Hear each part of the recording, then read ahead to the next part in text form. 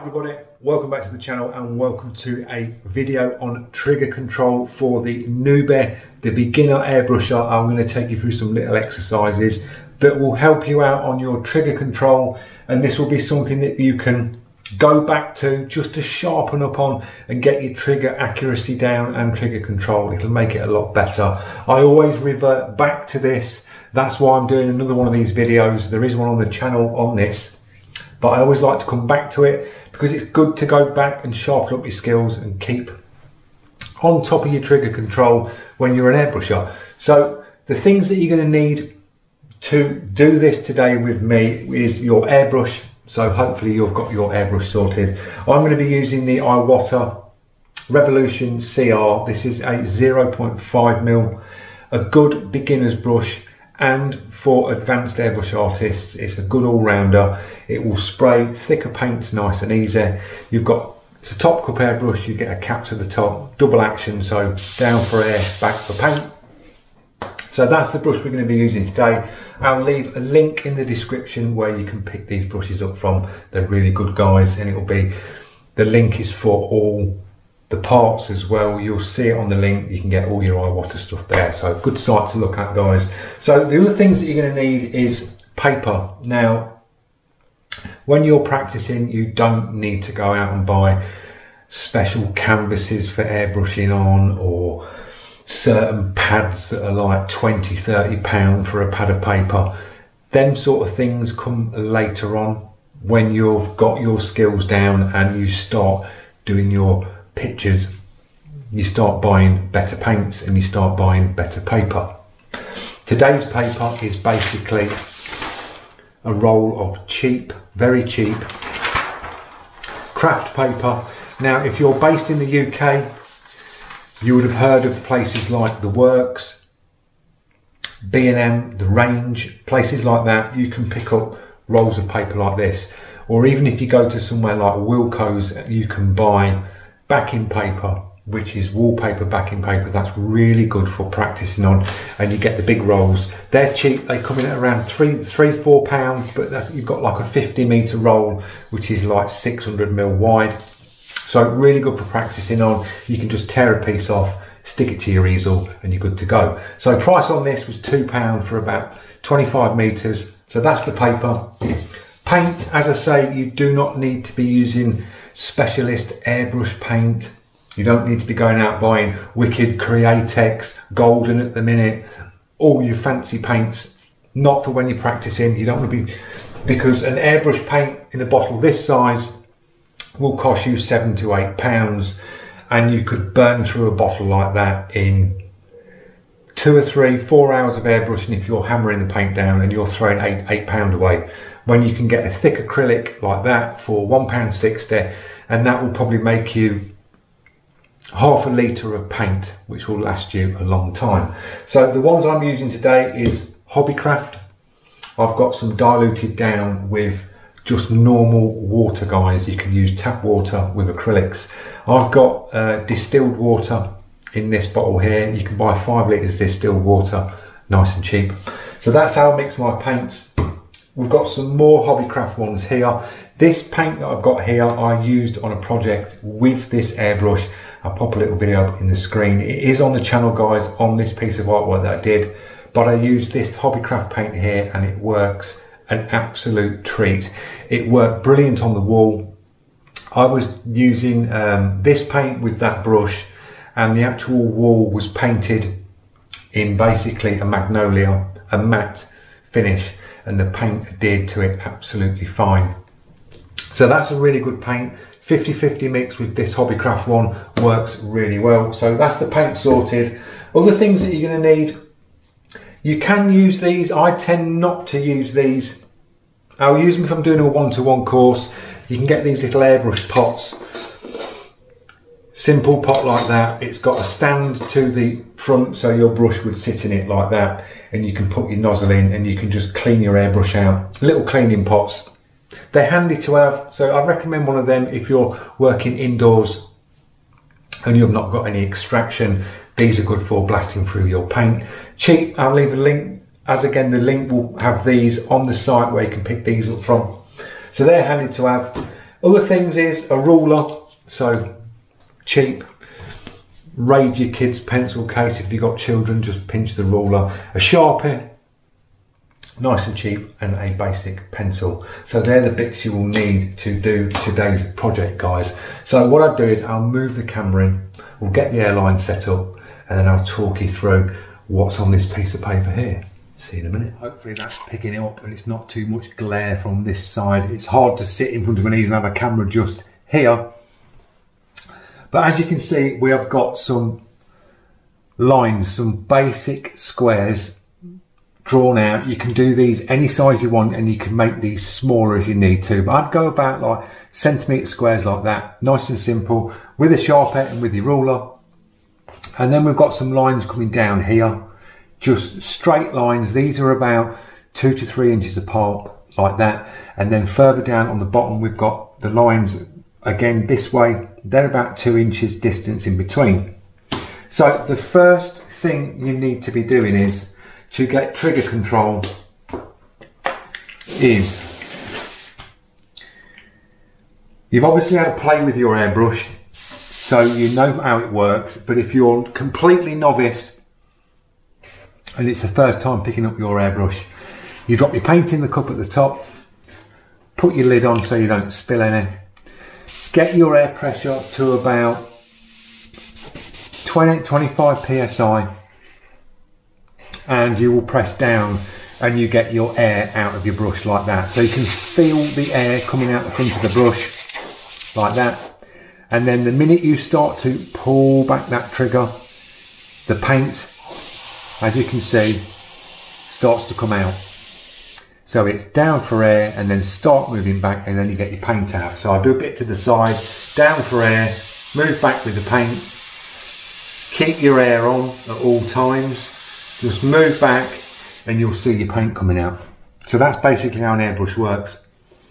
And what we've got to do is we've got to get your trigger control dialed in so you're basically not doing this and causing runs, loads of paint coming out. You're just getting that trigger control dialed in so you know down for air, you move your finger back and you're rocking your finger and moving that trigger. The more back you move it, the more paint. The, the little you move it, the less paint. So the more back, more paint. Move it back slightly, a lot less. So that's what we're aiming for today is trigger control. So we're going to move up to these grids and basically your first thing you need to learn is dots. Everybody needs to learn dots.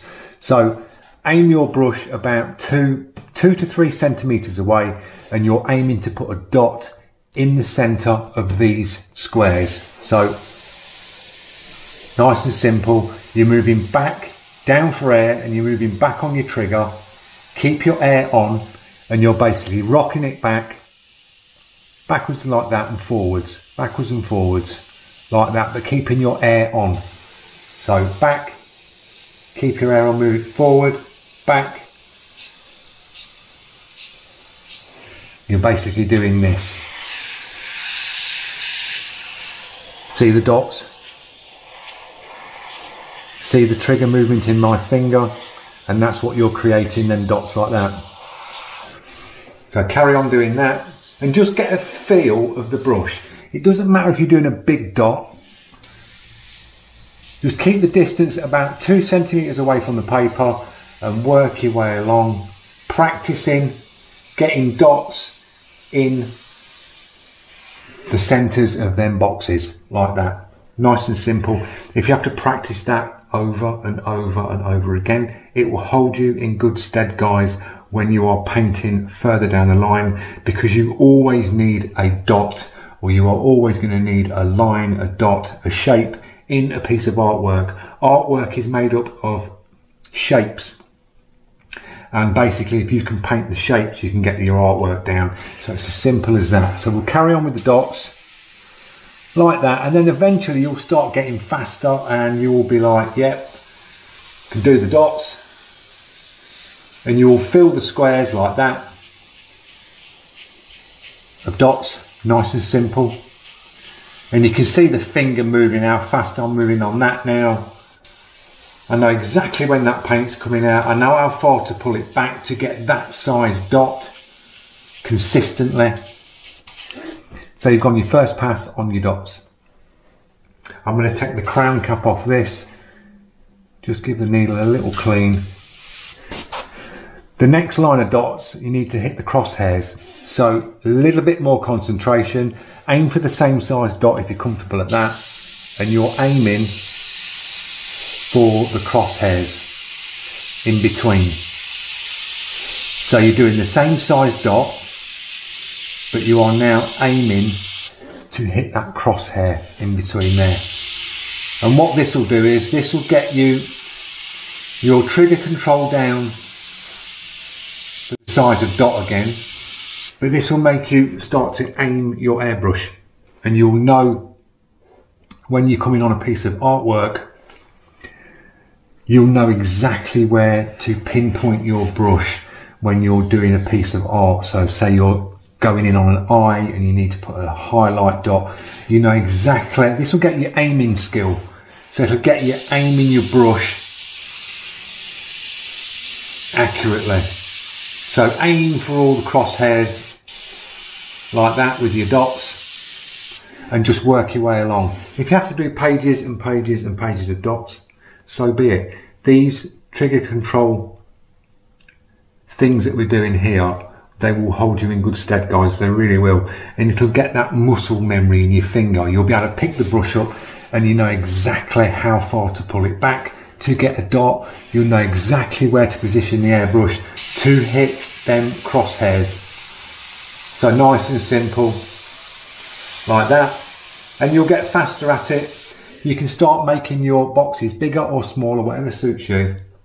So that's the first little exercise, dots. It's always a good one to go back in on. Now the next one is, it's basically a dagger stroke or a line it's control in your air and your paint. So if you look at this piece here, we've got the air on. So you'd start here like that with your air on. And then when you move across, you keep your air on, bring your paint on like you did with the dot.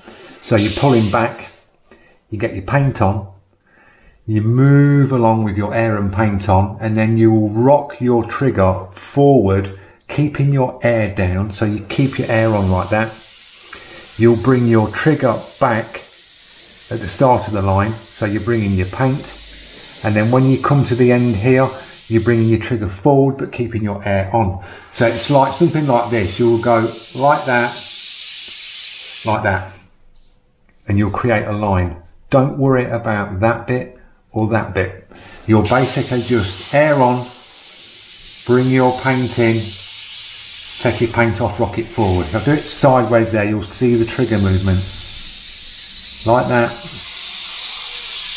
And then you're rocking it forward. If I go backwards that way, paint, take it off. Coming this way, paint, take it off, paint, take it off, paint on, take the paint off, paint on, take the paint off. And you're just getting that movement of down, putting the paint on, taking the paint off. And that will create a line.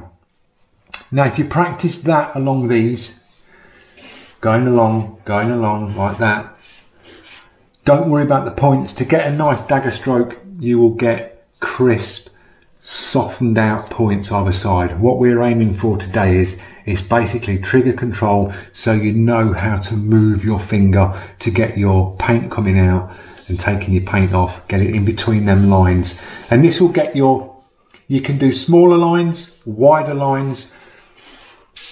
It just gets that memory in your finger to go, right, paint, take the paint off there, paint, paint off there. And you can see, if I get my thumb out of the way, try and do it like this, like that, you see that movement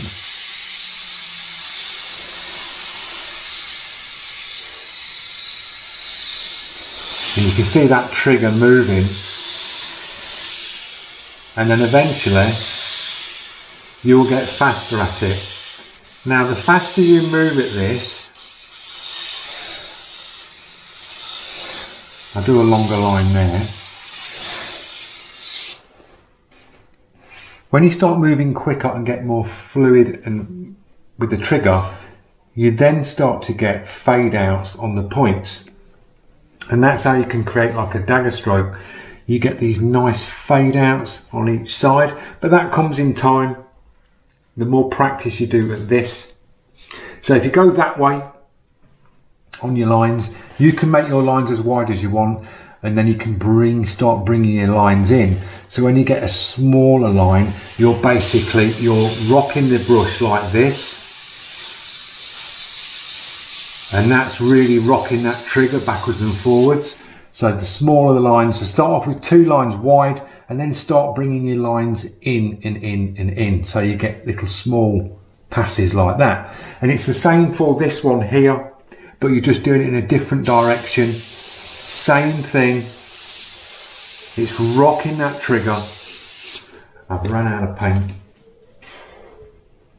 But really good paint, as you see, it works for practicing Hobbycraft 50-50 mix on their acrylic.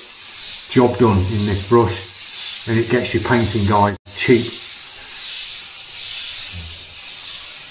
So you're basically doing that in between the lines up and down, up and down and practice these as much as you can. The speed will come in the end. If you're having to go really slow like this, doesn't matter. It's getting you that trigger control.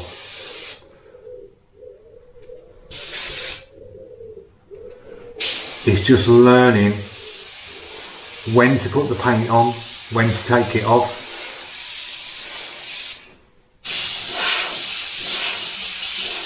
And you can do the same with it this way. You can have a bigger line. You can have a line here and one here and do a big line in between and then start bringing it down and down. So basically you are doing tiny little ones like that in between two lines. There you go guys, that's the video finished today on the trigger control for the Nube. I hope you've enjoyed it and learned something along the way. Keep it simple, you're not going to make it complicated.